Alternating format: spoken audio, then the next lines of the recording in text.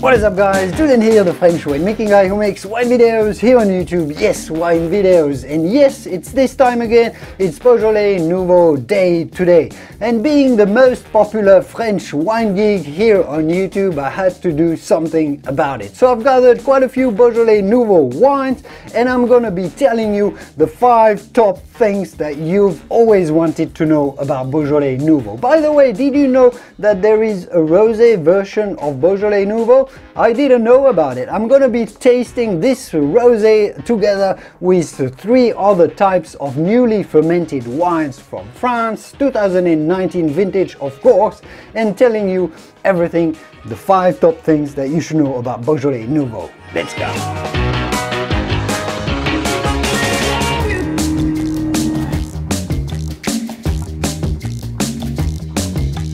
Beaujolais Nouveau is the name given to a wine produced in the Beaujolais wine region of France, around the center of France, that is released just a few weeks after harvest, making of Beaujolais Nouveau one of the first wines from the northern hemisphere that you are going to be able to find bearing the current vintage, 2019. So Beaujolais Nouveau is this newly fermented wine and it's also a global event, everyone, the whole world celebrating the new wine at the same time.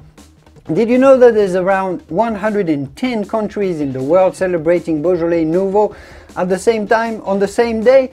Yes, out of 195 countries around the world, 110 celebrate in one way or another Beaujolais Nouveau. What I like about Beaujolais Nouveau is that it's a reproduction of this very old ancient tradition that we have here in Europe, in France, in Italy, in Spain, of gathering in the village or in the town to celebrate the newly fermented wine. People would work all year long on the grapes, working the vineyards very hard, picking the grapes, fermenting the wine and once a year once the wine was ready they would gather all together and every village in the south of France, in Italy or in Spain, in many many areas all across Europe have one day where they celebrate the new harvest and the new wine. Beaujolais Nouveau is the global expression of that phenomenon and I think it brings people together around wines that are easy to enjoy easy to like, very fruity, but we'll talk about this, about what they taste like in a minute.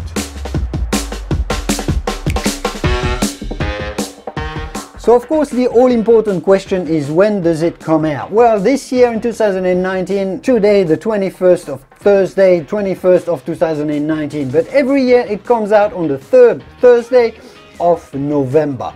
So it's a little bit before Thanksgiving, it's definitely before Christmas, just at the end of November, and that's why we never know exactly when the date is, because it changes every year, just like Easter.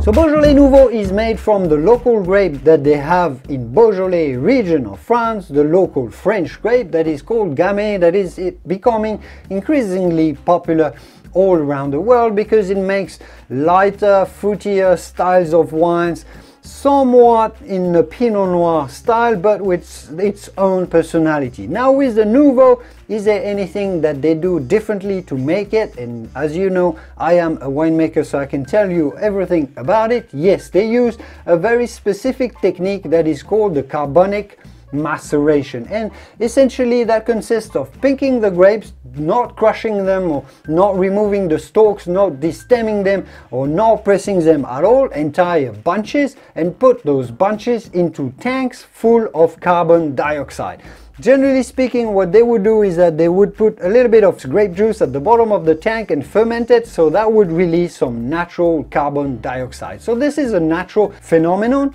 but what it makes is that it makes the berries that are entire react in a certain way and form very fruity aromas, very fruity compounds, especially the ones that are called esters.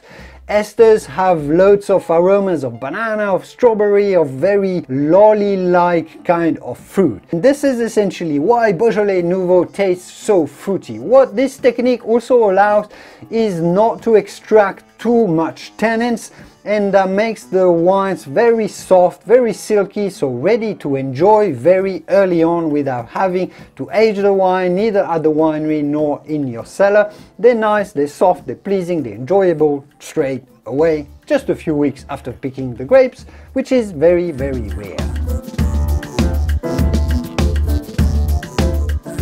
Now to the whole important question of what do Beaujolais Nouveau wines taste like? Well, if you look at the color of Beaujolais Nouveaux and now they're making a point at making really rich, richly colored wines, you will see that Beaujolais Nouveaux are actually quite dense in color and you will notice a lot of purple hues to Beaujolais Nouveaux because every wine starts with a lot of purple in it and then it goes towards the red and then it goes towards the orange and the yellow as they age. So every wine starts really really purple and because you're getting a very young wine here you will notice how purple they are which also I personally find makes them particularly appealing and pleasing to look at because they are purple, they are kind of bluish, red bluish kind of color, very very appealing. Now to the smell you will find loads of explosive notes of strawberry, of banana, pear, some fresh apple and I personally find quite a lot of uh, grapefruit and citrus and lemon as well. Very fresh, it's extremely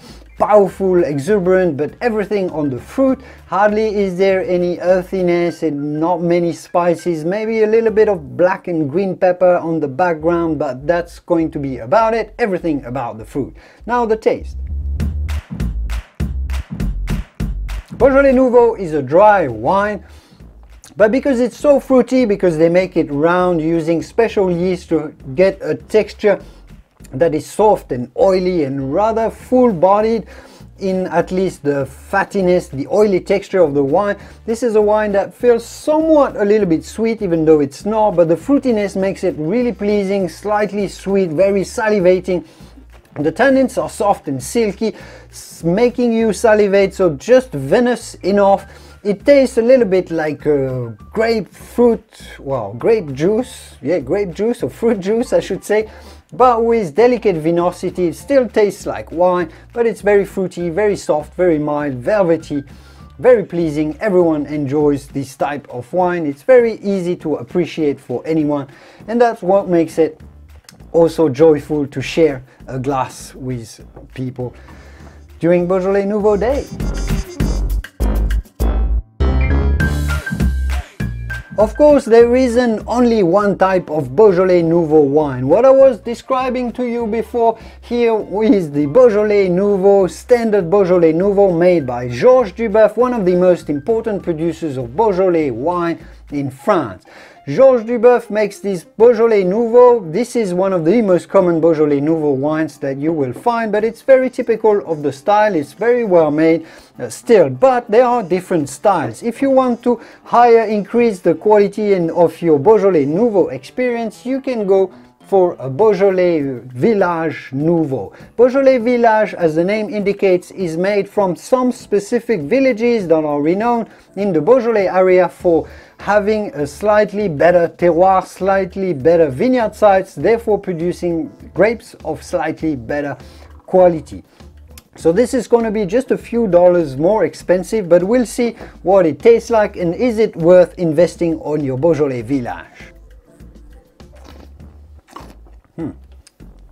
Wow, certainly a much bigger wine, much more tannins, the concentration as well, overall concentration is much bigger, there's much more acid as well. I think you could summarize it that the Beaujolais Village is a little bit more vinous, it tastes a little bit more like wine. So this is going to be more suitable if you want your Beaujolais Nouveau to go with your food, with your main, because it's bigger, it's got more tannins, so this deserves to be accompanied, paired with richer foods, the grilled meats, the stews, the rich, the cheeses as well, everything that you have in winter, the big satisfying foods. The Nouveau, the standard Nouveau is more for appetizers, for entrees, just to relax with a good glass of wine. This calls for food a little bit more. So it's good to know that you have two different options, one more for just enjoy a glass of wine before the meal and one to go with the meal. But let's dig into the rosé. I had actually never had a Beaujolais Nouveau rosé before. I'm quite tempted and I'm quite curious to try this rosé. Is it worth buying a Beaujolais Nouveau rosé as opposed to any other rosé? It's acidic, it's dry, it's got a lot of vibrancy. Again, the flavors are super, super vibrant. Lots of citrus, lots of grapefruit, lots of lemon it's actually very very pleasing and this burst this huge intensity of pear uh, it's actually really well made very pleasing. I think you should definitely try one of those and see what you whether you like it because it does remind me when I was working in a winery tasting the newly made rosé wines or when you are in one of those small villages in Europe where you celebrate with a new wine. This is essentially this type of new wine that is encapsulated in here, even more so than with the red wines, I would say. And here it is, those were the most common questions about Beaujolais Nouveau answered quite an interesting uh, tasting experience as well. I hope you're going to enjoy your Beaujolais Nouveau day. Which Beaujolais Nouveau wine are you having? Are you having a Beaujolais Village? What do you think about the ones that you've had? Let us know in the comments. Is 2019 a good vintage for Beaujolais? I don't think there's a huge variation in vintages for Beaujolais Nouveau. But 2019 is looking good. Are you enjoying your Beaujolais Nouveau Day? Are you enjoying the 2019 wines? Do you have a favorite producer, a favorite style? Let me know in the comments. Quite excited to learn more about what you think. I hope you enjoyed today's video and I will see you soon in the wonderful world of wine. Au revoir. Bye bye. Cheers.